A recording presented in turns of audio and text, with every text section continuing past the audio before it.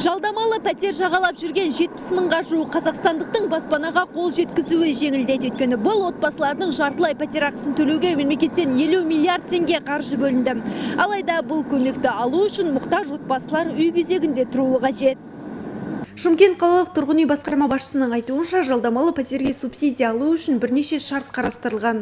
Яғни әрбір отбасы мүшесіне шаққанда соңғы 6 айдағы жиынтық табысы 36.018 теңгеден аспауы қажет. Ал мегаполисте барлық талапқа сай 8841 отбасы бар екен. жетім балалар көп балалы отбасылар бірінші екінші мүгедек мүгедектер және мүгедегі бар мүгедек баланы асыраушы ә, отбасылар қатыса алатын. Мысалға бір көп балалы отбасы болатын болса ә, көп, бала, көп балалыда бізде алты адам болады яғни төрт баласы бар жолдасы бар ә, жұбайы бар дегендей алты адам солардың айлықтары үйдің доходтары сол алты адамның 36 прожиточный минимум дейді 36 мың теңге 36 нөл он сегіз да соны көбейтіндісінен аспау керек та сол кезде ғана осы бағдарламаның шеңберінде болады Мемлекеттен берілетін бұл жеңілдікті алу үшін ешқайда барудың қажеті жоқ. Көмекке мұқтаж жандардың тізімін индустрия және инфрақұрылымдық даму министрлігі жариялайды.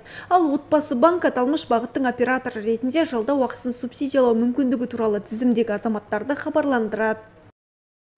Ол кезде үміткер банк филиалына келмей ақ баспана маркет платформасы арқылы онлайн өтініш бере алады. Ол үшін қазақстандықтардың ЭЦК кілті болу қажет. Өтініш берушінің кірісі платформада тексерілгеннен кейін ол өзіне қолайлы баспана тауып, оны жалға алу шартына онлайн қол қойып тіркейді. Содан кейін ағымдағы шот ашып, жалға алу құнының 50%-ын сол жерге аударады. Банк өз тарапынан қалған 50%-ын аударып, жалға алушының төлем тәртібін одан әрі қадағалайды. Алайда цифрлық платформа 15 наурызда ғана іске қосылады. Жоба алғашында пилоттық режимде жұмыс істейді. Бұл туралы үкімет отырысында баяндама жасаған Қазақстан Республикасының индустрия және инфрақұрылымдық даму министрі Қайырбек Өскенбаев мәлімдеді. Айтуынша жұмысты автоматтандыру үшін алты министрліктің деректерін интеграциялау керек.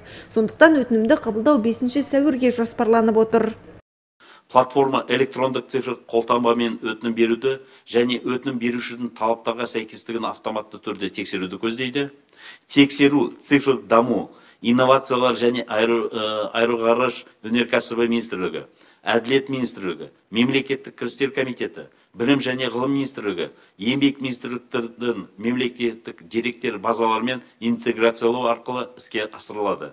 Өтінімдерді 5 сәуірден бастап қабылдауға жоспарлап отырмыз.